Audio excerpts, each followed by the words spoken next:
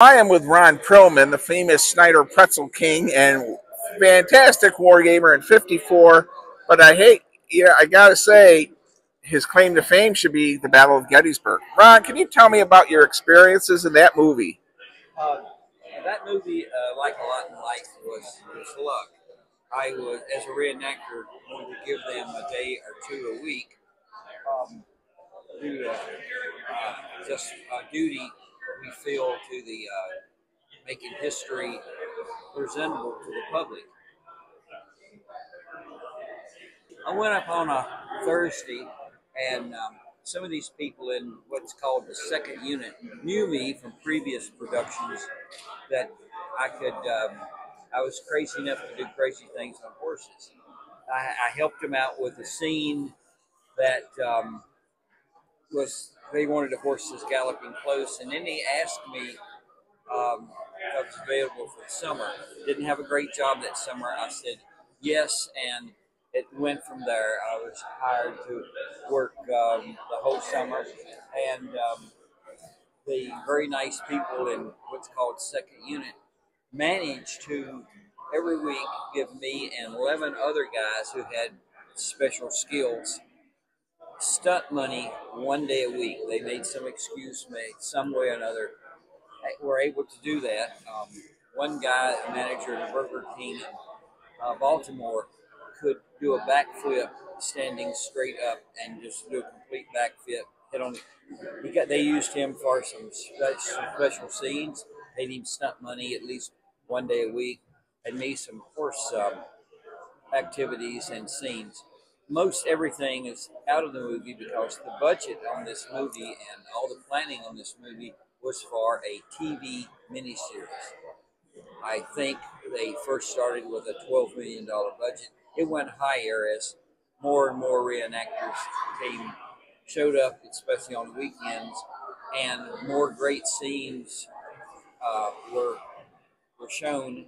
More great scenes were put out in production, and um, slowly but surely, a little more money came in, and uh, that helped the quality of the movie. Uh, but of course, from the very first, uh, the whole production was stifled a, a, little bit, and it was budgeted as a TV production. I think the original plan maybe was 10 hours or, or of an hour and a half, two hours per night. But that particular time period, the miniseries was losing popularity. And um, in editing, a few months after that, the decision was made to make it into a movie. Most days in movie productions, they just do one side or the other. Everybody's a Confederate or everybody's a Union. Um, I was, again, quite lucky. Then the few days, especially in Little Round Top, that they were showing both sides, they gave me all the people that just showed up on their own, were not reenactors. I took them to the trailer and got them outfitted, got their Indian fiberglass muskets in their hand, and that was a, a great fun to uh, lead uh, a contingent up on the attack, and it was the one furthest away from the camera. Uh, interesting, something really interesting about movie productions is that all the talk scenes are done first. So many actors will be there for two weeks or a month. That's it, they're done. While the production may actually go on for four or five months. Another interesting thing about movies is that there's a scene that the star has a chance of being hurt. That's the last scene they shoot on the very last day. An example, Kevin Costner in Dances with Wolves, him riding through the buffalo herd the very last day of shooting because um, he gets hurt on the very last day of shooting, it doesn't affect the production. An interesting side note on that uh, a couple of summers ago when I got to ride horses and Little Bighorn Battlefield, the Crow gentleman that owned the horses supplied the horses for the Dances with Wolves movie. Uh, very, very interesting time. But um, well, Ron, I have a question. Were you helping out with the Confederate side or the Union side? Most all my horseback scenes were the Union side. But the way movie productions work is most days you're only filming one side or the other. So one day, everybody, all the reenactors, all the people that are just showing up, and some days we had 50 to 100 of people that are showing up uh, just to say they were in a movie or just for the experience. There is a fire academy uh, that uh, teaches school for firefighters all the way across the nation in Emmitsburg, Pennsylvania, and from that academy we had 20 to 60 a day show up, and I believe that was okay with the fire academy because it was a draw to get people to come for the training. But most days you were one or the other. Once in a while, uh, you don't people don't have a uniform for the other side, so they'd have to go to the uh, trailer to get a part of their outfit at least from the Confederate or Confederate or Union. What the movie people would do, they put those in the back ranks, and so you didn't see uh, that. Another thing interesting at Gettysburg, first couple of weeks, because of experiences in the previous two summers, almost no reenactors were showing up because two summers in a row we had been built up, that big thing was coming, and then here comes the summer, and last minute, no, changed their mind. So um, it was week three or four before we had a decent number of reenactors there. One uh, thing that we've seen it, and the scenes that were not perfect, and there's a lot of them in there, and we all knew it. For example, the guard at the very first of the movie used him because he he could talk well, and we didn't have 20, we didn't have 20 reenactors on that particular day, so we used him. Um, he didn't, his uh, weight to height ratio was not Confederate looking very much, but at first, um, that's that's what we had to do. Uh, the movie people, of course, concentrated with the stars on all their talk, talky scenes, and that's all done. And those people, those people leave. But um, only about a third of the time or less are they filming both sides in the same day. So you just you show up and you find out usually the day before whether it's going to be Confederate or Union. Big difference in a movie Gettysburg from most productions is rather than have a screenplay, it would be almost this is a little bit of an exaggeration. It would almost be tomorrow we're going to do page 124 we're going to do the discussion of da da and da da and then this union unit is going to march down the road. And that you knew that. That's very different than than most produ- productions. Uh, that rather than a very formal screenplay, is that you do uh, you do you know what page are we on tomorrow? So, Ron, what was that Confederate artillery bombardment like on the field? Two interesting things about that number one, and, and people uh, have actually, and this is even war gamers historians, what BS, the, they went down the line, one cannon, the next cannon, the next cannon, the next, that is historic. You do that so you're going to have a continuous bombardment on the enemy. If you go down the line, one, the next, the next, the next, the next, and then when you get to the end, the first at the other end is ready to fire that is to make sure the bombardment, there's no lulls in the bombardment. Um, you fire one, that was the reason for that, and that's the way it was done historically. With a hundred and some cannons at that day, they probably only went down the line until the, they knew the first one was loaded, even though there may be only 30 down the line. And then they came back and, and went. And, and uh, we could reload these guns in about uh, a minute to two minutes. I know what the history books say, but um, it take, took us that long. We couldn't do it fast enough, even skipping one of the steps. How many guns were there in the movie? Uh, we had about 60 of them to rep- representing uh, I think it's uh, about over 100, 120, but I believe we had 60.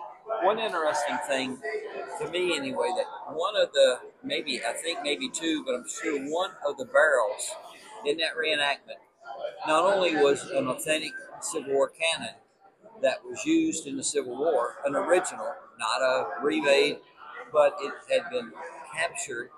It was Union done, captured by the Confederates at Gettysburg, and recaptured in Spotsylvania a few months later, and then 150 years, 140, 50 years later, it's in the movie. Of course, the carriage wasn't the same, but I find it very interesting um, that the two, at least, was original.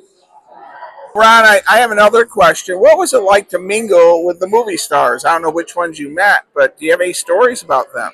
Most of the movie stars, uh, some of the uh, some of the nights, uh, partake of um, adult beverages at a place called Farnsworth House.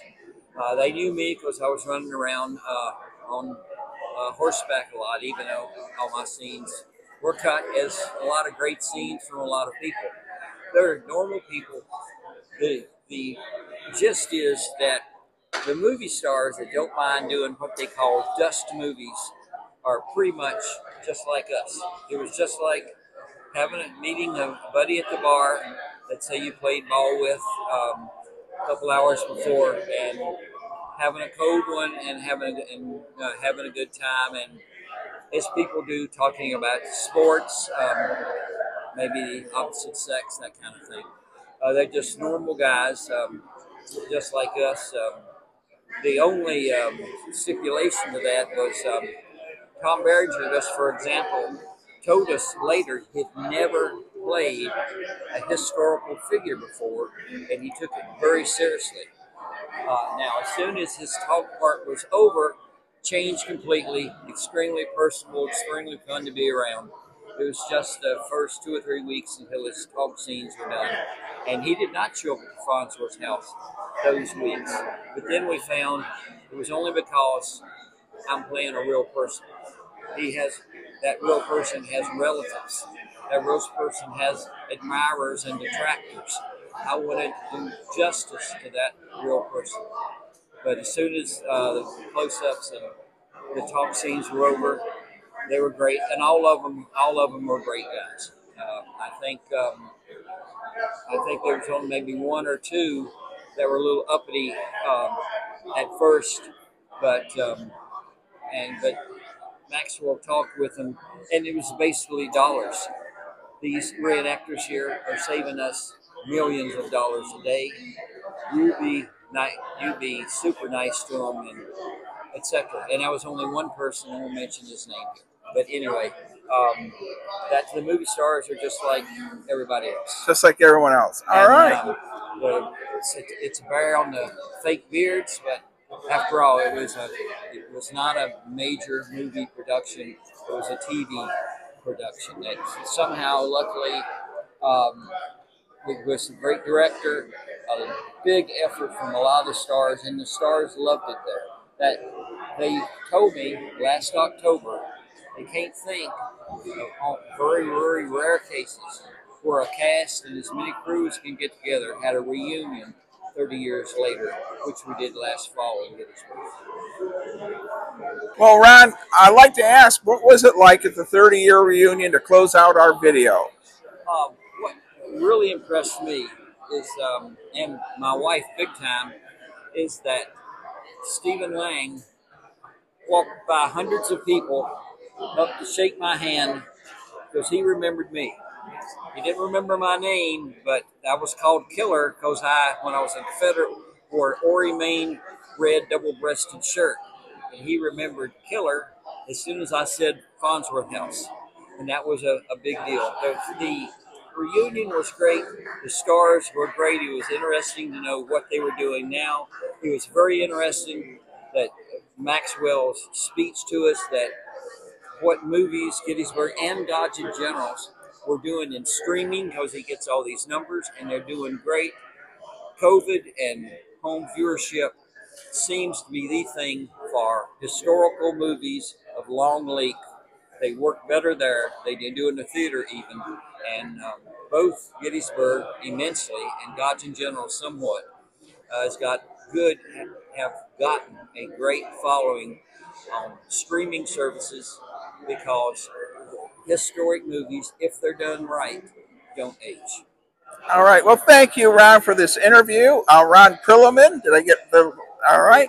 And world-renowned war gamer, and um, I really am appreciative of this interview. Thank you, and everyone, stay safe, be kind, and be courteous. And thank you, Bill. Appreciate it.